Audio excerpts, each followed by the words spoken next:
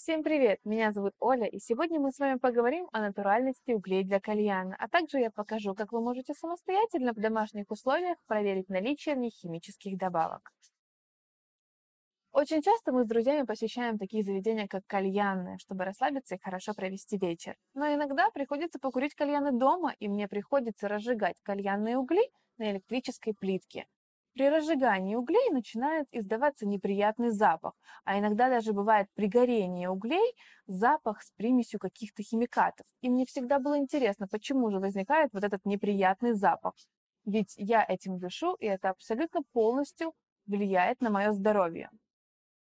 Поэтому я обратилась к специалистам, чтобы получить ответы на свои вопросы. И получила на самом деле очень большое количество интересной, новой, а самое главное полезной информации, с которой сегодня я с вами поделюсь.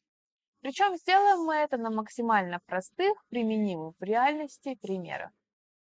Наиболее распространенным на рынке является уголь из Индонезии, сделанный из кокосовой скорлупы. Если вы придете в какой-то магазин и попросите уголь, то, скорее всего, вам предложат именно кокосовый.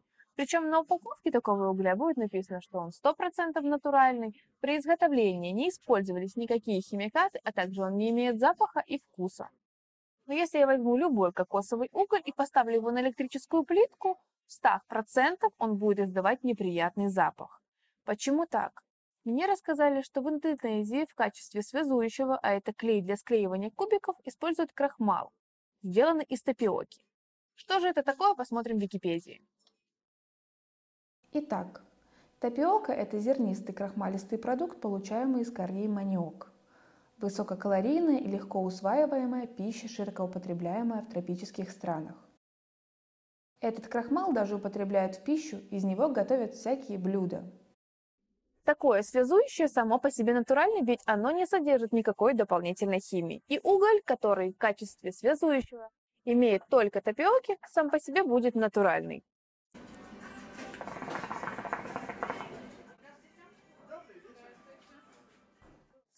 Но, к сожалению, неприятного запаха при разжигании не удастся избежать, ведь такое свойство самой тапиоки. Кое-что стало понятным, и вы можете сказать, что мы приобретем натуральный уголь, если возьмем кокосовый, сделанный в Индонезии. Но если мы возьмем любой уголь от разных производителей и протестируем его на запах и на влияние на вкус табака, то окажется, что все они будут разные. Почему же так? В мире есть огромная потребность в кальянном угле, а его производством занимаются разнообразные фабрики и не только в Индонезии. А конкуренция у них просто огромнейшая. В борьбе за потребителя производитель пытается сделать продукт, который по своим качествам будет лучше, чем у его конкурентов. Какие же эти качества? У угля есть пять свойств, которые говорят о его качестве. Первое – это уголь должен быстро разжигаться. Второе – проходить так называемый дроп-тест. Это когда мы кидаем кубик 2-3 раза на пол, при этом он не должен расколоться. Третье, должно выделяться небольшое количество пепла. Четвертое, уголь должен давать хороший жар, чтобы прогреть хорошо табак.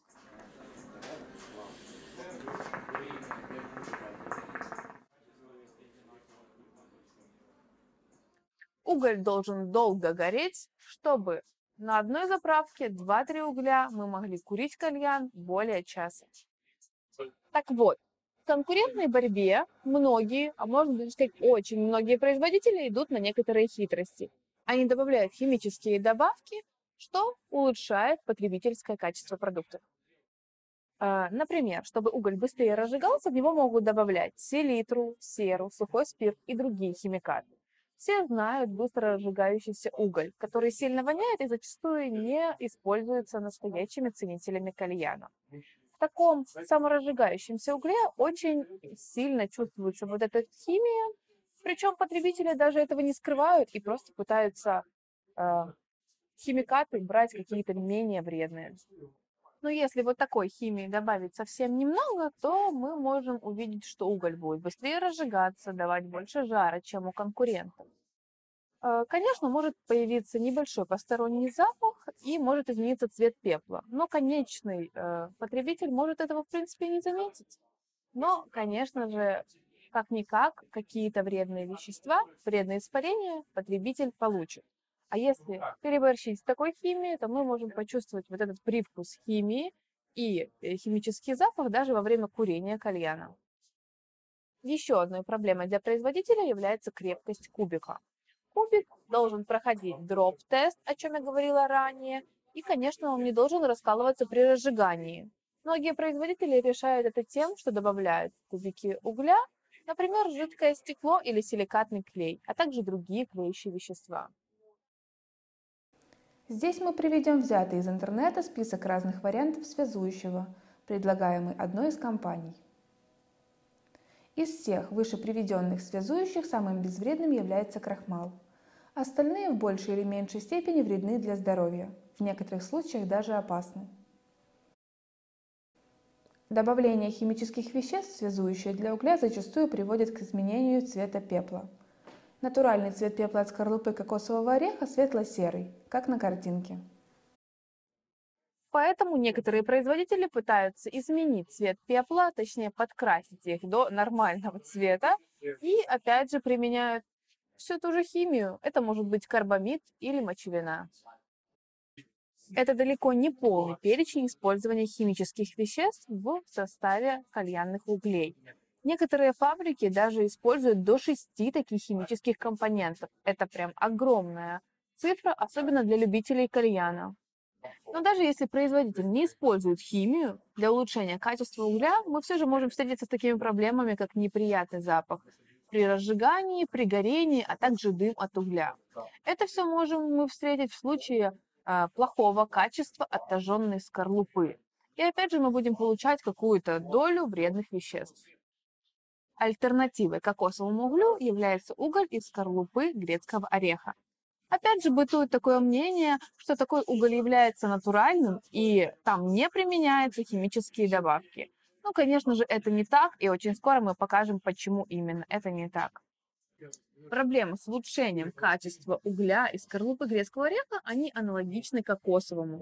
Некоторые производители идут на хитрости и добавляют химические вещества.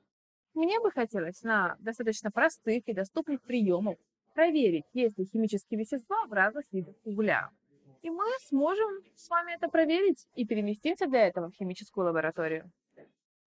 Сейчас мы находимся в химической лаборатории. Это более подходящее место для проведения экспериментов. Итак, наша задача на простых и наглядных примерах посмотреть, имеются ли химические добавки в кальянных углях, а также проверить, насколько он натуральный. Самый первый и простой эксперимент, который вы проводите каждый раз, когда разжигаете угли и курите кальян, это тест на запах. Наличие посторонних запахов может быть обусловлено плохим качеством обжига скорлупы, как кокосовой, так и ореховой. При этом уголь может дыметь.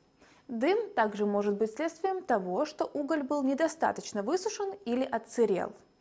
Также подмешиванием в сырье для изготовления угля – пыли древесного угля, который намного дешевле, чем кокосовый или ореховый, а также наличие запаха аммиака, нашатырного спирта, который нам будет говорить о том, что при изготовлении угля э, использовалась карбамид или мочевина. Это делалось для того, чтобы подкрасить пепел в нужный цвет. Но для чего же подкрашивать цвет пепла? Конечно же, для того, чтобы замаскировать химию, для улучшения разжигания, для увеличения жара и увеличения крепкости кубика при горении.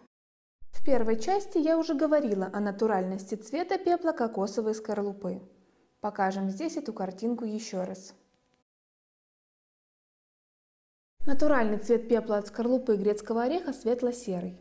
Он может быть с оттенками бежевого в зависимости от того, где этот орех произрастал. Также это зависит от технологии изготовления кубика угля. При производстве кубика с помощью экструдера оттенок становится бежевым. Для оценки натуральности пепла мы сфотографируем образцы и покажем вам эти фотографии, для того, чтобы вы сами оценили натуральность цвета скорлупы. На первых трех фотографиях мы покажем кубики из скорлупы кокосового ореха. Слева размещается картинка со сгоревшей кокосовой скорлупой. По центру кубик угля и справа картинка с остатками пепла от сгоревшего кубика. На следующих картинках показан уголь из скорлупы грецкого ореха. Как я уже говорила ранее, цвет пепла такого угля зависит от технологии изготовления кубика. Первым идет кубик, сделанный на гидравлическом прессе. Это уголь нашего производства и в нем нет никаких химических добавок. Поэтому цвет пепла получается таким натуральным. Далее идет уголь из скорлупы грецкого ореха, который сделан нами с помощью экструдера. Хотя при его производстве мы использовали то же сырье без химических добавок, как и для предыдущего кубика. Цвет пепла приобрел серовато-бежевый оттенок. Но это также натуральный цвет пепла для экструдерного угля. На следующей картинке мы видим уголь из скорлупы грецкого ореха другого производителя. Этот кубик был сделан с помощью экструдера. Можно заметить, что цвет пепла у него темно-серый сверху и коричневый внутри. Это говорит о том, что при изготовлении угля применяли специальные красители, чтобы изменить цвет пепла, и чтобы он выглядел натуральным. К тому же при разжигании и при горении можно почувствовать запах нашатырного спирта, что говорит о применении мочевины. На этом фото мы видим аналогичную картинку. Это также уголь из ореховой скорлупы, сделанный с помощью экструдера – и у него также темно-серый цвет пепла снаружи и коричневый внутри. И он также издает запах нашатырного спирта при разжигании, который ощущается даже при горении. Очевидно, что здесь использовались химические добавки, чтобы приблизить цвет пепла к натуральному и скрыть применение химии. На следующем фото еще один уголь из скорлупы грецкого ореха. Цвет пепла у него коричнево-рыжий. Здесь не применялся краситель для пепла, но использовались другие химические добавки для улучшения качества кубика. При разжигании присутствует запах химии. Теперь мы перейдем к еще одному эксперименту. Те, кто в школе не пропускал уроки химии, могут помнить, как учитель помещал в пламя горелки определенные вещества, и пламя окрашивалось в желтый, красный, зеленоватый и другие оттенки. Пламя окрашивается благодаря присутствию ионов определенных металлов. На этом принципе основана работа спектрометра, который служит определению состава веществ мы используем такой механизм и посмотрим, присутствуют ли в наших углях какие-то примеси. В этом эксперименте мы взяли наш уголь, где нет химических добавок, он расположен слева, и уголь другого производителя.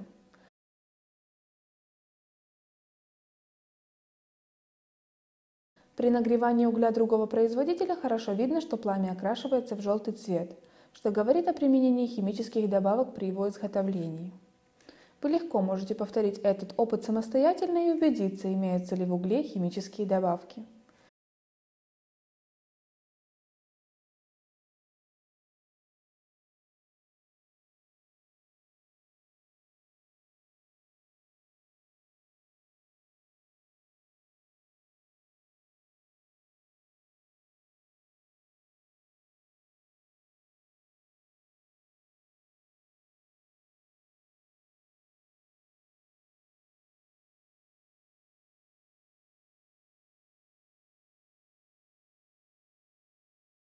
Конце эксперимента мы направим горелку на обычную кухонную соль, натрий хлор. Наличие желтого окраса пламени горелки говорит о присутствии натрия в кубике угля.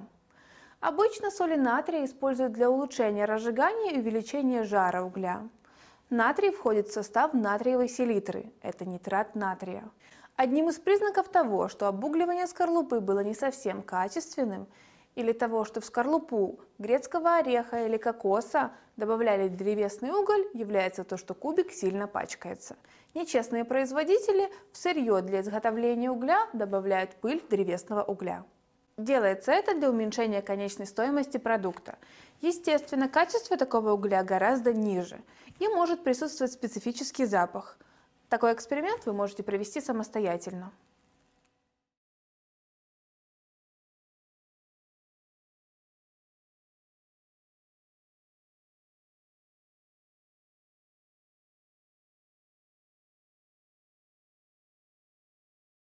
Иногда для улучшения горения кубика угля производители добавляют сухой спирт. Это может проявить себя в виде язычков пламени при горении угля. Такие язычки пламени могут появиться, если дунуть на кубик. А сейчас мы проведем эксперимент, где будем помещать угли в стаканы с водой. Итак, в первый стакан мы будем помещать три угля из кокоса.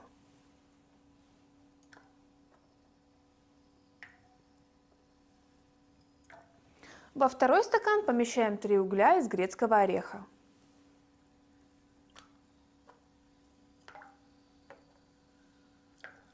Помещаем мы их по три, потому что плюс-минус ведут они себя одинаково. В третий и четвертый стаканы мы помещаем угли из грецкого ореха, потому что они будут вести себя иначе.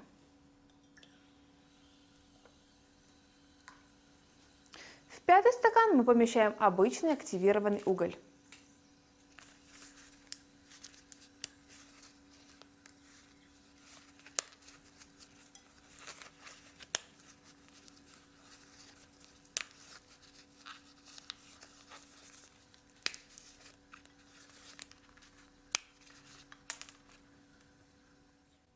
С момента начала эксперимента прошло чуть более часа. Сейчас я размешаю содержимое стакана и мы посмотрим, что получилось.